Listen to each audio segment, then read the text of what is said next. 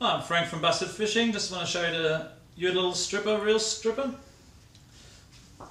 Made from uh, solid aluminium, CNC machined, out of two parts with a stainless steel driver in the end. Uh, marine anodized in blue and beautifully engraved on the end. Quality product. And all you have to do is put it in your um, cordless drill. And I've got a 50 wide game reel on a strip. So just take your line,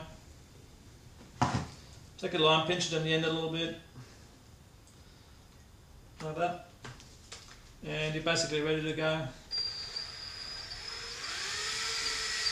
Start off slowly. Very handy for people that uh, strip a lot of game reels every season.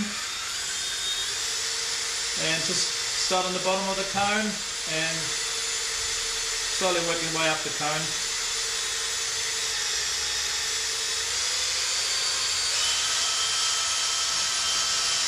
When you come towards the end of uh, stripping your reel, uh, be very careful, slow down.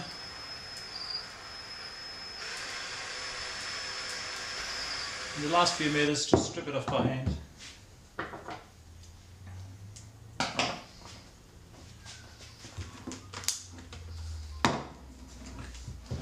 Okay, once you've taken all your line off, off your reel, uh, what you do, you unscrew it on the end.